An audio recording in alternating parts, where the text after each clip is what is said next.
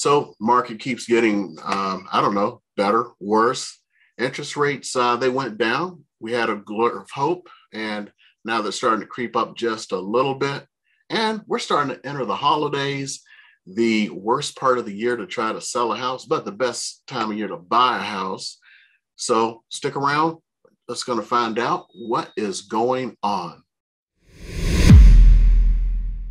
Hey, everybody, it's Eric out in Las Vegas. And as always, if you ever want to contact me about real estate, call, text, or email. Information's in the info tab. And if you want to get on my calendar, just click down below, get that calendar link, and we can find a time to get together and you can dedicate those 15 minutes for us to talk. Today we have Andrea Fernandez with us today. Uh, this is kind of a make-up session from what happened this weekend. I had some really severe internet problems. So said we're going to bring her back, get those questions answered while we were having a little bit, bit of buffoonery. And uh, she is from Planet Home Lending. And we're going to try to finish up that conversation or at least do it in a way where you're going to be able to get everything done today. So, Andrea, glad you're able to come back and talk to us this week. And we'll try to go through this process again. And I do apologize for the buffoonery of the weekend uh, I guess I have to put a new one in, restart the computer, and restart the internet. okay, so let's uh, start off with uh, kind of the big gorilla in the room now. How are interest rates doing? Right. Well, first of all, thank you for having me back. Excited here. But hey, that's the beauty of live streaming, right? Something can always go wrong. But um, we're here with great material. Um, and yeah, the question out there is how are the interest rates? So we were kind of lucky last week. It was kind of like, I was like so excited because inflation numbers came back and they were actually a lot lower than we expected. We are expecting inflation numbers to be around 8%, and they came a little bit lower to 7.7%. So the market freaked out in a good way rates went down. We're already around 7.5 at that point, mid sevens, and then it literally went down to like mid six, even in some cases lower, like lower six. So we're like, oh my gosh, we're going to a great, you know, we're finally going out of this bad um stream on, you know, high rates and we're going back to basics. And so how is this week going? Uh, so far it's been doing okay in the in the sense that the rates are still um, on the six, but we are seeing a little bit of increase every day. We're losing a little bit of the gain of the momentum that we have last Wednesday, but it's still not as bad. Uh, so right now we're probably in the average of you know 6.5 6.8 um, maybe going towards that 7% but we'll see how the market keeps trading in in that area okay um, you, me, I don't know. Number one question I have for my clients right now is it a good time to buy right now? Right. So rates are still a little bit high, but there's opportunity. And I tell you why, two main reasons. Right now is a great time to buy because you can negotiate the price of your home. Okay.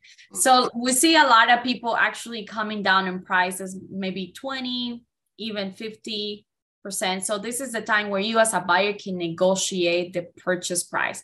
Another thing that I've seen a lot is that most of my contracts today, they have closing costs help from the seller. So they're asking for concessions. Um, I don't know if a lot of our clients were looking a few months back, but if you remember back then, we actually have bidding wars. People were putting $50,000 above the asking price. So we're not seeing that. We're actually seeing the reverse. We've finally seen people getting closing costs. And we haven't seen that in months. So tell me, Eric, um, I know you're the expert in the sense of like, you're the realtor. Are you hmm. seeing the prices of the homes really coming down? Well, they're not coming down as much as you would suspect they would come down. Uh, we're probably going to see another adjustment by the end of the month, but we also remember this is the time of year when housing is very soft. Mm-hmm. Uh, so what we're saying is it's really difficult to understand.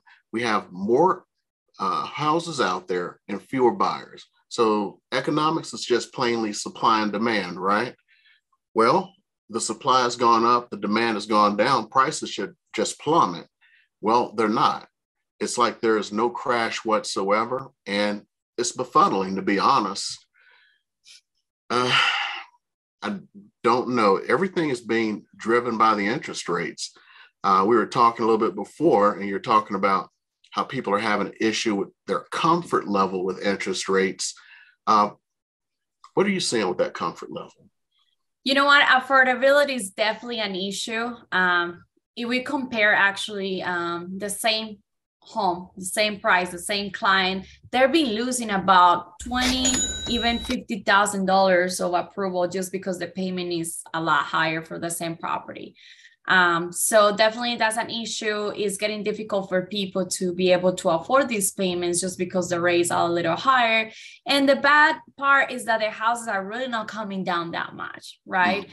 But right. something that I've been telling all my clients, you have to date the rate and marry the home, right? Okay. What does that mean? You should definitely take advantage on all the perks and all the money that you can get for your closing costs I know it's going to be a little bit tough for maybe a year, a year and a half, and that you're paying a little bit of a higher payment. But then once you secure your home, you can always refinance and lower your payment. So you cannot, the fact that you get a loan today or a home today doesn't mean that you need to stick around with that loan forever like I said, expectations will be that interest rate are going to come down about in a year and a half to two years, and they're going to be about about five percent is what I've been hearing a lot. So that's going to make a huge difference on your payment if you're closing a home today at seven or six and a half. That's gonna literally gonna lower your payment about 200 300 dollars in some cases okay now so when we're talking about the comfort level in payments uh, with the sellers being more willing to uh, help out. Uh, they can actually help out with that interest rate too. There are multiple programs out there. Um, yeah. What do you got for me? So this is not a new program, funny enough. It's actually a program that is being used now because of the current situation. And it's called the buy down 321 or 2 buy down. So there's two options. So let's talk about option number one. So for example, you're trying to buy a home today and the rate is 7%. If you go for the 321 down payment or oh, rate buy down, you're going to get the first year, your payment will be based on the rate of um, or 5%. The second year, your rate is going to go up to 6%. And then the third year, your rate will go back to the normal rate of today market, which is 7%. However, something that may that lender may not be telling you is that there is a cost for having that break on the rate. Okay, so this is something where it comes uh, handy to talk to your loan officer for them to explain to you what are the advantages or disadvantages of doing this. Because Eric, in life, there's nothing free, and there's always a cost related to that. So if it makes sense for you to do this this uh, program, is available to you, and then that way you can have a more comfortable payment. Um, there's another rule about this program is that the seller is the one that has to pay for that rate buy down. So most people will say, well, I'm not losing anything. My seller is going to pay for it. Yes, your seller is going to pay for that. But if you elect this option, you won't be able to use your closing costs, right? Because the seller is only going to pay your buy down on your closing costs, just because there's some limits on how much money a seller can help you in a transaction. Okay. Okay. So, well, uh, now that you bring that up, let's talk about it because I know there are different amounts they're allowed to give you, um, like based on loan type, amount of down payment. Uh, just really quickly gloss over a little bit. Uh, like for each loan type, down payment amount, how much is a seller allowed to contribute? Great question. So FHA is actually really generous in that sense that we can go up to 6% um, contribution, and that includes contributions from the seller of your realtor or any third party, really. Uh, that is giving you and helping you with this loan. So 6% for FHA, for conventional, it really all depends on uh, the type of property. But for a primary home buyer, uh, you're actually limited to a 3%. Okay. Uh, and if it's an investment property, only 2%. So those are like tricky things that we have to pay attention as to how much money um, mm. is the seller allowed to contribute. Mm-hmm. Okay. Come on now. You can skip my favorite type of loan. come on, you know. Come on. And for the VA loans, you're limited to a 4% contribution. Okay. Okay. So what with the VA loan, you don't have any down payments or anything. You can get some contribution for the uh, a two three a two one or a three two one makes it a perfect combination. And uh, we're talking about that. Uh, we were talking about closing costs. What I've noticed a big part of those closing costs can be what the uh, lender charges. So, like for a VA loan, uh, some lenders charge what's known as an origination fee, which can be up to 1%. Uh, does your bank charge uh, origination fees? No, so for all our loans, um, my lender does only they only charge underwriting and processing fee, and this mm. fee both together it would be uh fifteen ninety nine. So regardless of fifteen ninety nine, okay, and that include both, which is actually really standard for the market. Okay, okay, but that's a great question. Mm-hmm. Okay, yeah, because I know. uh Let's say you're buying a four hundred and fifty thousand dollar house, which is pretty close to the median right now with some banks, that's an extra 4,500 bucks you have to come up with. Absolutely. So, Absolutely. Yeah. yeah. something very important, um, kind of related to the fees. Um, I know people always think about what's my rate. It sometimes I've been looking at a lot of advertisement and some lenders are advertising 4.9% when everybody's at six or six and a half. And you're like, how is this possible? But always read the fine print. Okay. Uh-huh. Um, it's very important that you don't always look at what interest rate I'm getting, but rather how much are you paying for that interest rate, right? Okay. Because a lot of people do not understand that there's a cost sometimes related to buying down their interest rate. And a lot of cases, it doesn't make sense to pay the extra money for a lower rate, especially in this market. Why? Because most people that are buying right now, they're not gonna remain with the same mortgage for the next 30 years. Most likely, you're gonna be refinancing in the next, I don't know, four years or less. So let's say if you buy down your rate from seven to six, that can actually have a really high cost. Obviously, it's a percentage of your purchase price, so it depends on the type of property you're buying. But sometimes it could cost you fifteen thousand dollars. So that's when you really have to do the correct math and say, okay, is $15,000 really worth buying down the rate, right? Mm. So that's a difference where not all loan officers are made the same, and maybe not all loan officers will give you that information and that knowledge for you to make educated decisions. Okay. Okay, good.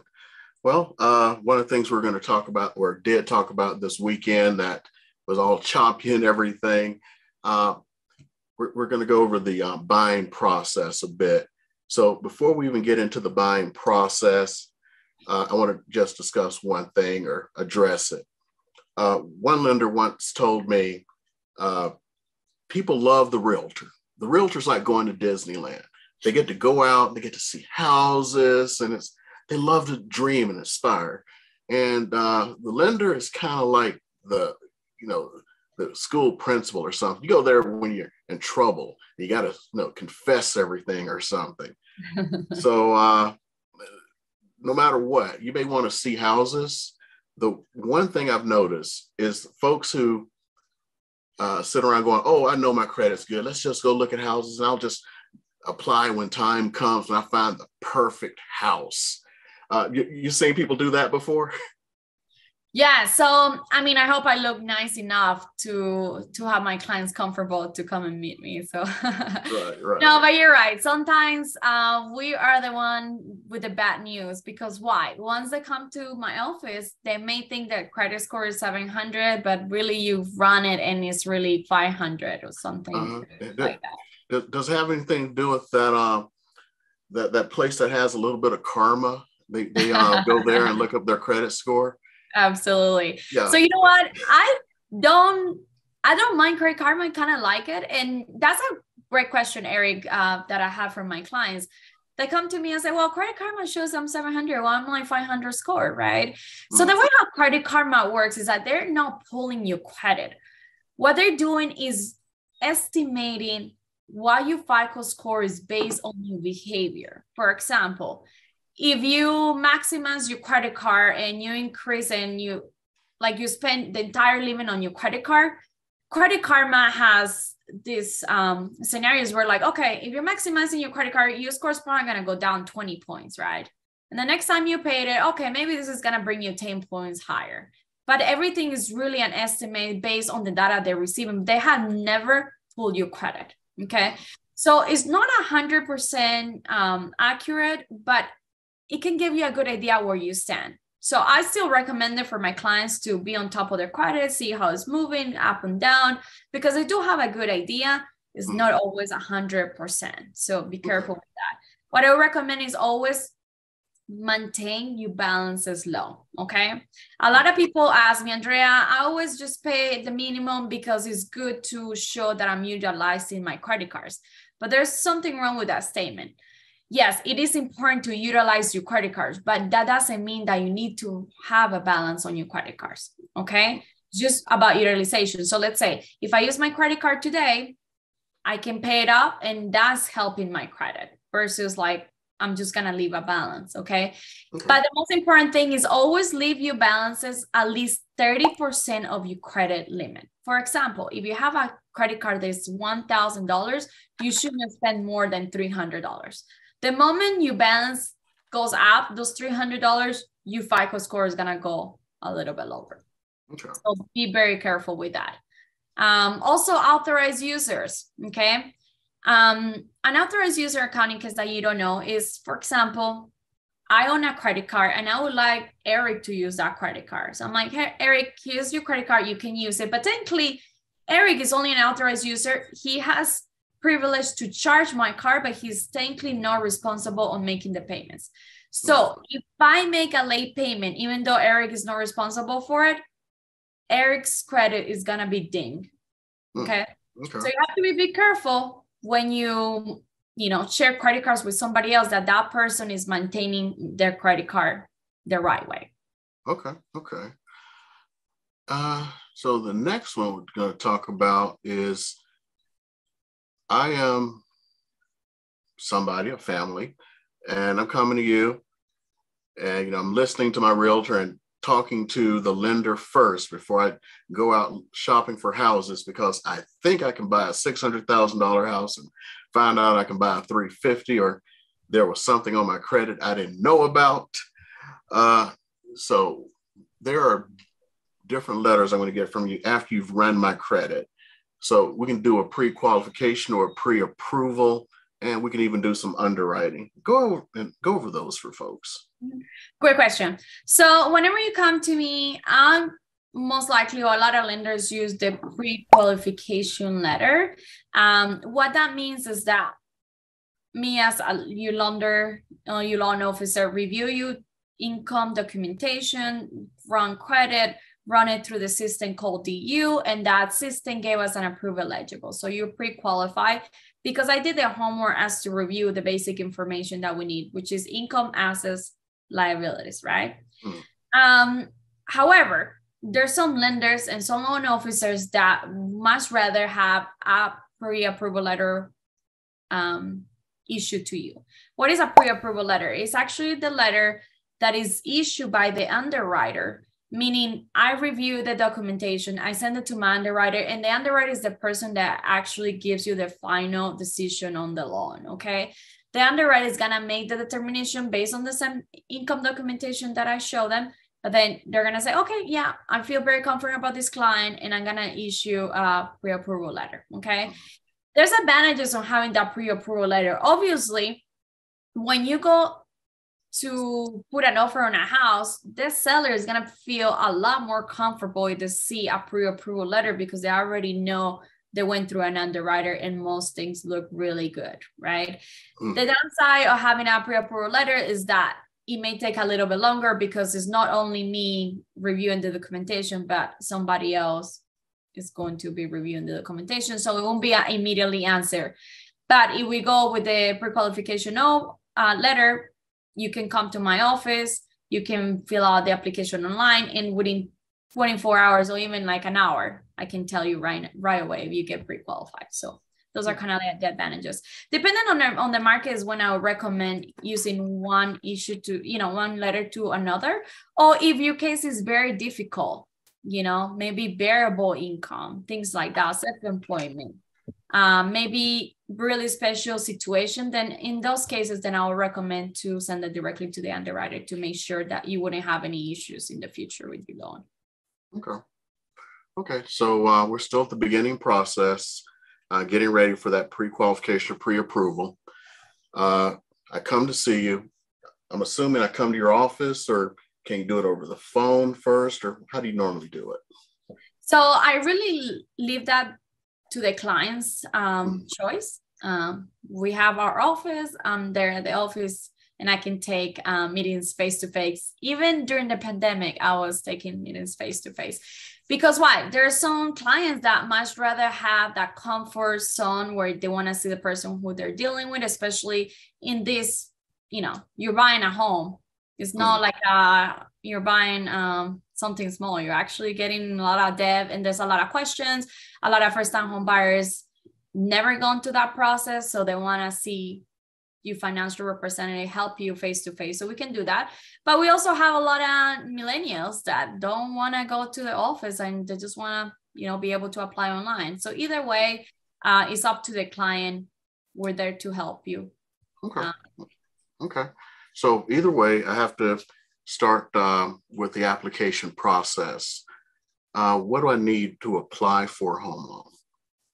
Great question. So, like I mentioned before, there's three main categories income, assets, liabilities, right? So, what does that mean? So, the income side uh, part of the application, if you work for somebody, meaning you're a W 2 employee, you're going to need the last two pay stubs and the last W 2s. Okay. Hmm. Um, if you actually self employed, meaning your 1099 on your own your own business, then I'm gonna need the last two year taxes. Okay. For the assets, I will need the last two bank statements showing that you have the money for the down payment or closing costs. And uh, the liabilities would be the part where, where I pulled your credit. So those are the three major categories that you're gonna need to apply for a loan. Okay. Okay. Now I'm going to ask this one. This is going to be a little um, out there. Okay, go for it. uh, no, it's not really out there. Uh, for some types of income, you do plus up. So, like example of myself, um, retired retired military member. So if I show you my uh, income, and it's you know we'll we'll just use a hypothetical, make it easy, four thousand dollars a month. Mm-hmm. Um, how do you do that plus up for veterans and retirees? Uh, when we're talking about plaza, meaning what? Like Hamas, well, or? Well, some lenders, because there is no taxes, um, that income is usually final. Oh, so it's not 4,000 in gross, it's 4,000 gross and net. Right. So they go like, oh, well, if you were making this amount, that would come down to the 4,000. So they kind of plus it up. Yeah, so great question. Uh, so we're referring a non-taxable income. Mm. So, what is non taxable income? Let's talk about that first. So, it's obviously how the word says income that you don't pay taxes. But what kind of income is that? Social Security, you don't have to pay taxes. Mm. Child support is another income that is non taxable. Um, so, it's depending on the program uh, that would actually help you qualify for a little bit more because they're taking into consideration that you're going to receive most of the money. Okay. Mm. So, for FHA loans, you can actually increase non-taxable income up to 1.15%. Um, okay, so 15% higher. For conventional loans would be 1.25%. And for VA loans would be also 1.25%. Okay, excellent, excellent. So that way, if you're like out there, you're a veteran, uh, retiree, uh, maybe on Social Security, got a decent check, you can actually say like uh, kind of use this as a guideline to help yourself get plussed up. Okay. Well, good. That's a great question, Eric, because most people do not know that, right? And especially mm. Social Security, you don't make tons of money when you get Social Security income. So the fact that you can increase it a little bit more, that that would make a huge difference on your pre-qualification. Okay. Okay, now one other thing, uh, we're going to stick with veterans for just a second. For some odd reason, I love working with veterans. I don't know why. uh, the COE, the Certificate of Eligibility, um, I remember back in the good old days, you had to pull that yourself and go down to a VA office and stuff. does a veteran have to go searching for that stuff to do their COE anymore, or will you be able to do that? Great question. Obviously, if you have it already, it will be a lot easier because sometimes uh, the system doesn't pull it right away. But the advantage that we have right now, thank God for technology, is that we have access to it. There's been a few cases where it may take a little bit, you know, 24 hours. So if there's not an immediate match, then we have to do a little bit more homework. But if you have it, bring it please to your loan officer. If not, then we can help you. Okay. Okay. So we've sat down, or did this over Zoom, did it over the phone, something. Uh, you've gone over all of my stuff. You've issued me my pre-approval. Yay. Uh, we've gone to shop for houses. I have found my my dream house here. And uh, my real estate professional has sent all the information over to you. This starts a, a new little process. Let's start talking about that process from the lender side. Right. So once you get your offer accepted, um, very important. Most people do not understand what this means, but you have to give the earnest money deposit. So, what is an earnest money deposit? It's essentially um, you're telling the seller, Mr. Seller, I'm very um, sure about this transaction, and this is how serious I am. And then you give a small down, you know, down payment uh, for that house. Uh, the seller is the one that dictates the amount of the earnest money, but just to give you an example, it could vary from a thousand to five thousand dollars. Really, all depend on the value of the property, right? We're talking about a million dollars. They're gonna ask you for a larger EMD, um, sometimes ten thousand dollars, right?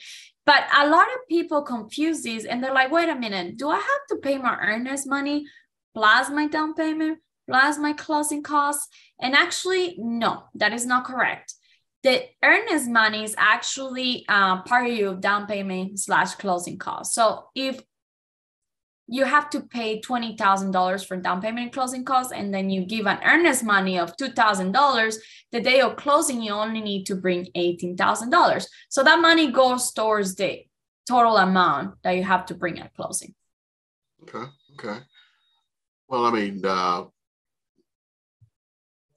when you receive the information on the house, you start like the entire process and putting it through underwriting and like I believe the next step you're going to do is order up the appraisal. Can you talk about the appraisal? Okay.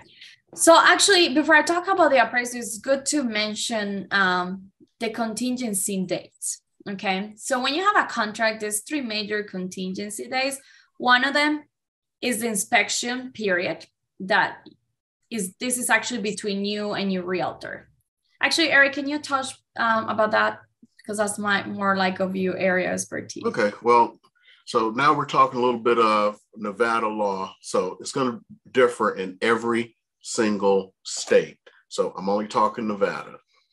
Now, uh, one thing we're going to have is what's known as due diligence. And due diligence, you can cancel for any reason you feel like anything your heart desires. Matter of mm-hmm. fact, you're allowed to go there and knock on all the neighbors' doors and go like, "Do you like living here?" Cancel for that. This time you may have investigated the school systems and go like, "Oh, they had uh, three school shootings. Oh, you know what? Ah, I don't want to live in that neighborhood." And one thing I do suggest people do: neighborhoods can look completely different at night and on the weekends. Mm-hmm. So you can go and at least drive around night, weekend, see if you like the vibe of the neighborhood. And a lot of times when you've made that decision, especially when you're making a snap decision, you didn't think about what is it really going to take to get to work. Just because the traffic is good now, it may not be good the time you have to leave for work.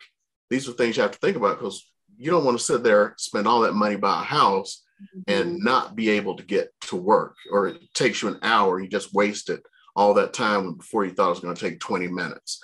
That's due diligence. Cancel for anything. Uh, next, you're going to have certain dates like your appraisal date. That is the amount of time uh, that you are given to uh, get an appraisal done and get everything rectified between you and the seller if it comes in low. So let's uh, talk about normal appraisals. Uh, you know, six, seven months ago, if an appraisal came in low, it was like, yeah, so what? give me money. uh, normally, uh, if an appraisal comes in, uh, let's talk about if it just comes in and it's normal. Okay, you go on. Perfect. That will be the perfect world right there, right? Yeah, perfect world. Uh, next, you go like, well, what if it comes in way high? First of all, most appraisers are not going to um, let it come in way high uh, because they don't want the liability for, from it. Because let's say you bought a house that was 500,000 and the appraisal came back at 650. Oh my goodness. I can go sell this house for 650. I got a great bargain because some people are bargain hunters and they go and they go like, you know what? I'd rather have that extra 150. And they put the house on the market. Then the house sells for 520. The appraiser doesn't want to come back to you. Uh, you coming back to them going like, hey, you promised me this house was 650 they're going to uh, come somewhere around value and they're try as best as possible to make value if it's lower or something and just real quick for a va loan is really cool because they have what's known as tidewater and what tidewater does is if the appraiser believes the house may come in low you have 48 hours to try to prove that it can actually meet value no other loan does that so normally you're going to set the appraisal limit based on what the lender tells you. Different lenders can do different things. They have different relationships out there. Uh, it's going to be anywhere from, it's hard to believe, 10 days to about 21. So, and it's also take into account what's time of the year, what time of the year we're in now. If you were to put an offer on a house tomorrow and you're coming up on Thanksgiving or Christmas or New Year's, a lot of people are going to be shut down you need to take that into account for all of your dates. Then you have your loan approval date. Uh, generally, I set that for about 25, and sometimes I'll set it to the day that it's going to close. And that is the time for the lender to uh, actually approve your loan. Now, you said, wait a minute, I have my pre approval letter. No, there is somebody else in that uh, computation. Uh, she kind of touched on before, and we're going to get a little bit deeper here in a second. Underwriter. the underwriter. Some people may hate or love the underwriter. By the way, this is a side story, guys, but I was that person, the hated person that everybody's afraid of. And I did that job probably for 12 years. So that's kind of one of the advantage that I can provide to my clients is that not every loan officer has that strong background as to think about as an underwriter because I was actually an underwriter thinking that way, right? And everybody gets a little scared of the underwriter because the underwriter is the one that can make your dreams come true or can kill your dreams in like five seconds, right? Um, but it's very important for the people out there that's trying to buy that if you have a good loan officer and a good realtor taking care of your transaction, you should not be worried about these days that we're talking about, right? Because actually, our job as you uh, representatives to be paying attention on those days. Like if there's something wrong going into your file, that your loan officer can talk with you, with the realtor to, you know, to actually come out with a plan so you don't lose the earnest money deposit. Because that's the thing. Once those dates expire you may lose your earnest money if you don't get that loan. So you have to be very careful as to who you're choosing as your loan officer or realtor. And i'm going to have to do a little bit of confession here. Uh, it doesn't matter what nrs nevada, nevada statutes say. Remember i'm talking nevada here. Um, no title company in this state will sign off on you getting your earnest money back unless the seller signs off on it. Mm-hmm. So your EMD, the way you're supposed to be able to get it back is uh, based on you know your t- deadline. So one, you have that due diligence. If counts before due diligence, you're supposed to get it back. Mm-hmm. If uh, within your appraisal timeline, let's say you can't come to an agreement on the appraisal, then um, you can get it back on for that. If your loan is ultimately denied within the timeline, you can get it back for that. And then there's another way you can get it back, and that is if um, the house is in an HOA. You have five days after receiving the documents to say yay or nay if you want to live in that HOA. Hey, mm-hmm. that's kind of cool. Yeah, uh, although uh, this is also part of the confession. The CNRs or the rules of the HOA are this big. So I wonder how many people are reading line by line. I mean, we recommend it, but it's a lot of reading. yeah, yeah. Uh, but see, here's the thing because the uh, the um, title companies, escrow companies, they even though the law says you're supposed to get your money back, the seller needs to sign off. Mm-hmm. A lot of sellers are now ticked off. You've gone 15 days, their house has been off the market. Maybe they've been packing. and They get salty. So here's the confession there is a good chance that seller's not going to sign or they're going to try to negotiate for part of that EMD because they're salty now and they've lost money. But see, they don't get it either. But you don't get it. but where is it? Where is the money going? Uh, the money goes into a, what's known as escheat. Now, technically, after one year, you can uh, apply to get to the get the money uh, from the state because they turn it over to the state after one year. But you know, it's better to try to you know get something worked out ahead of time. Uh, and here's here's one that's really cool. I actually had a situation where we were like past everything, and from day one, I kept asking the listing agent for the SRPD, seller real property disclosure. Mm-hmm. Never get every time it's like I'll, I'll, get it to you. Oh i have a wedding to go to and all, all this all these excuses. Well there is a statute in the nrs that says you have to have that within two days. If you do not have it within two days here's the secret. Due diligence has not started. Mm.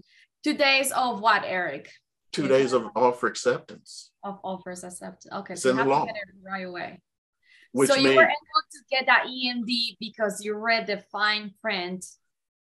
Yeah, yeah. So I knew what the uh, law said, and I pointed it out to her. You could just see it. It's like the panic. I mean, because she actually did the whole. Well, the way I see it is, you've gone past all these dates. And I was like, no, I still have due diligence. And she's like, no, like, you don't. Do you that, yeah, yeah. And I told her, showed her the law, and I was like, yeah, due diligence start. And you kept saying, uh, pulling off giving me the SRPD. So there's so just to rectify. Okay, just to clarify. So the due diligence start two days after no. you receive the SRPD. No. no, due diligence starts the following day of um, offer acceptance. Offer acceptance is when all of the signatures have been ratified. So the last person signs. The following day, due diligence starts, but they have two days to get you the um, SRPD. If they do not, see, this is what people don't understand. It does not, it basically halts the um, due diligence. And when they give it to you, it starts it again. Mm. So here's a perfect sample why not every loan officer or every realtor now there is the same. So this is where knowledge and education comes in handy. And you want to be with the people that know what they're doing, definitely. Oh yeah. so that's yeah. a great story. You were able to say the EMD just just by knowing this law. That's very very yeah, impressive. Yeah. I mean, there's others like um, when you go for your home inspection, which should be done during your due diligence. Mm-hmm. Well, the law says all utilities must be on. There is a caveat to that. Uh, if the utilities aren't on or something got turned off by accident, your due diligence stops. Mm. So let's say, Eric, now I'm going to ask you this question. If you go and the utilities are not on, do you have to send another addendum extending it, or that's not even necessary because it's already written there? You should send an addendum. Nothing in real estate counts unless it's in writing. Perfect example is if I was talking to Andrea here and I say, I'm gonna, I'm willing to sell you my house for five hundred thousand dollars.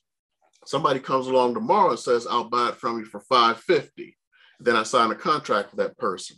But we had a verbal agreement. Now, verbal contracts are normally enforceable, mm-hmm. except in real estate. It must be in writing. I can say anything to her saying, I'm going to sell my house to her, it does not count until it is actually in writing. With the one caveat again, if you're in sound mind, sound body. So if you're under duress, uh, you have been drinking, under drugs, uh, have a mental episode, any of those above, um, you do not have the mental state to form a legal contract. I'm not a lawyer, just got into law school with a full ride scholarship, but never went. Very interesting. Hey, um, can you talk about what an SRPD means? I mean, we mentioned it, but I know a lot of people may have no idea what that means. Yeah, that's the uh, seller real property disclosure. That is where the seller is supposed to tattle and tell every single thing that they know about the house that is wrong with the house. Mm-hmm. If they falsify that document, anything that you have to, yeah, anything you have to do to rectify what they falsified, you can sue for those damages treble. So three times the damages. Perfect example, um, I just took a listing. And uh, if you're looking at my little series I'm doing right now of how you're supposed to sell a house and things you need to do in this market. It's the listing where I am, you know, putting everything that where I'm actually going in and like um, actually doing the rehab on the house. So it's going to look perfect and ready to sell. Well, there's an issue. There was a roof deck leak, and we can talk more about how those roof deck leaks, because they actually can get a little common. Well, it was fixed. And one of the things we did is all those the indications from the roof deck leak that was repaired. So now you don't even see that there was a leak.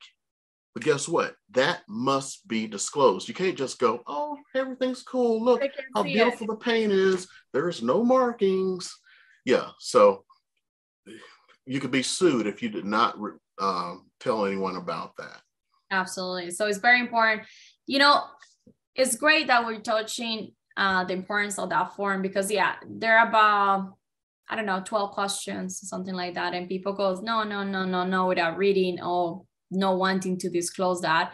Mm. But if something wrong happens in the property and they can prove that you knew about it, it's a big, big issue. So yep. Make sure that you're selling a property that you're 100% honest and they can disclose anything that you know. If it's obviously something something that you didn't know, maybe a previous owner or mm. you know you had no knowledge, of course that doesn't count against you. But um, yeah, very important. Great conversation. Yeah, I'm even learning a lot of stuff myself. So, and let's uh, end it up on one little thing here. We were talking about earlier locking in interest rates. Yeah. Uh, so, if I lock in my interest rate, and let's say some somehow reason interest rates go down as rapidly as they went up, and they go down to five percent, can I do something about that? Yeah, okay, so it all depends. Um, I feel like locking the rate is almost like going to the casino and gambling. It's a hundred percent a gamble, right? None of us can predict the future. Obviously, as you loan officer, I'm always looking at what the market is looking like and what news out there can be affecting the rate. So we may have a little bit of idea, but again, none of us can foresee the future. So when you enter into contract, you have the option to lock your rate immediately. What does that mean? What does locking the rate mean? So, for example, if I wake up, you're into contract and the rates today are 6%, you have the option to lock it. And then you know that that's going to be you, your rate for the term of your loan, right? Mm-hmm. Even if the rate goes up to 7%, if you lock your interest rate, you're gonna keep that 6%. However, there's also the bad side that if you lock today and then tomorrow the rates go down to 5.5, you cannot change the lock and go to 5.5. You're gonna have to stay with the 6%. Okay. Oh, okay. Okay. So that's where you're gambling. You don't know what tomorrow's rate will be. So should I lock or should I float? That's how we call it. You lock or you float. Um, so this is when you need to talk to your loan officer, talk about how the market is, what are the news that could be affecting that, and if you wanna, you know, what would be the best strategy um, to lock on that. Right now, in today's market, I would say the market is very volatile. Um, any little news are making huge impact, and obviously we have tons of issues with inflation, which is making our rates to constantly go up. In this market, obviously in general i would say it's better for you to lock immediately because you don't want to have a surprise then tomorrow your rate is going to be a lot higher and maybe your payment is going to go up and actually you may no longer qualify right so you can stop qualifying from one day to another so if you're already into contract right now it might be a good idea to immediately lock. We also have other options that are very uh, unique is that, um, for example, for all those people that are buying houses under probate, uh, probates are usually uh, transactions that may take longer than 30 days, or even if you're buying a brand new home that they haven't built, sometimes those transactions can take even six months, right? So a lot of people like to have the peace of mind. There's like, hey, I would like to lock my rate for six months, but usually, okay, usually you only lock a rate for 30 days 30, 45 days. That's kind of like the average. Why is that? Because the longer I need to log um, a transaction, the more money this is going to cost me. Okay. So if I need to lock something for six months, we can even do that. However, there's always going to be a higher cost for the for that locking. So that's when you have to analyze is it really worth it for me to pay this amount of money and lock for six months, but I already know what rate I'm going to get? Or should I chance it and gamble it and hopefully in six months the race will go down, right? Okay. Um, yeah. So it's all about education and talking to your loan officer about it. Okay, well, wonderful. Well, thank you for coming back. And I think this has been a very fruitful conversation. If you have any questions, just go ahead, leave them below. It's probably a little bit better if you um, email them because I don't always get notified when there are comments below. And again, if you want to contact me, call, text, or email. Info's in the info tab. Get on the calendar down below. I will put all of Andrea's information down there so you will uh, be able to contact her if you have any additional questions. So we are coming into the ho- holiday season. Happy holidays, Merry Christmas, Happy Hanukkah, Happy Kwanzaa, and happy Festivus. It's a holiday for the rest of us. See you guys. Love it. Well, thank you so much for having me. And remember, very important, our consultations are free. So even if you're not ready, we would like to hear from you. Maybe we can help you make your dreams a reality in the near future. Okay. Well, okay. thanks a lot, Andrea. Bye.